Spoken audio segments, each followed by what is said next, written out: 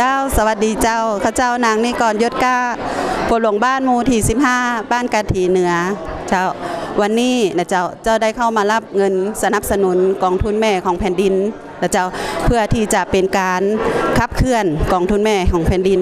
ในการป้องกันและแก้ไขปัญหายาเสพติด แล้วก็จะเป็นทุนสำรองในการให้กำลังใจคนที่ทำกิจกรรมในหมู่บ้านนะเจ้าบ่ว่าจะเป็นการตั้งด่านนะเจ้ารักษาความสงบในหมู่บ้านนะเจ้าก็เงินจำนวนนี้ก็จะเป็น เงินที่สามารถขับเคลื่อนในเรื่องของการแก้ไขปัญหายาเสพติด แล้วก็ความสงบในหมู่บ้านชาว